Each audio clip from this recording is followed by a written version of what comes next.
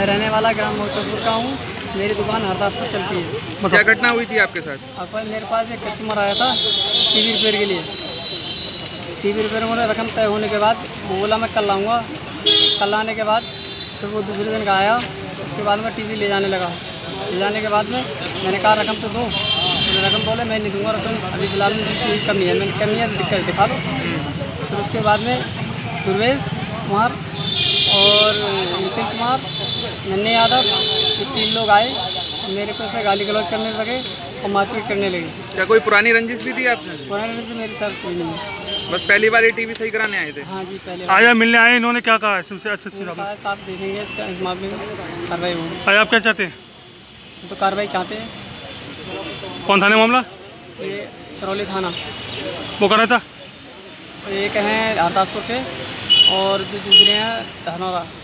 थाने गए वहाँ पर क्या कहा आपको? थाने में ये कहा एफडी से ले ली बोले सोचेंगे। और सोचने के बाद बोले देखेंगे उन्होंने कोई गौर ही नहीं दिया कितने दिन हो गए घटना को घटित हुए? घटना को परसों के बाद।